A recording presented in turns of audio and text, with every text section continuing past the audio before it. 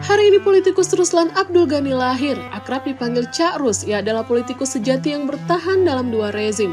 Mulai dekat dengan Soekarno saat jadi sekretaris jenderal di KAA. Ketika Soekarno kemudian menetapkan dekret 5 Juli 1959, Ruslan diangkat sebagai wakil DPA yang bertugas jadi penasihat presiden. Punya tugas khusus untuk melaksanakan indoktrinasi ideologi. Ruslan yang kemudian menjabat Menteri Penerangan mampu menyampaikan doktrin Soekarno dengan baik kepada halayak. Namun memasuki pertengahan 1965, ia mulai renggang dengan Soekarno akibat kritis terhadap komunis. Sempat pensiun usai jadi duta besar di awal pemerintahan Soeharto. Soeharto kemudian memintanya untuk bergabung di tim BP7. Meski ia sebenarnya mencurigai Soeharto terlibat dalam G30S, namun Ruslan tetap mengepalai BP7 selama hampir dua dekade.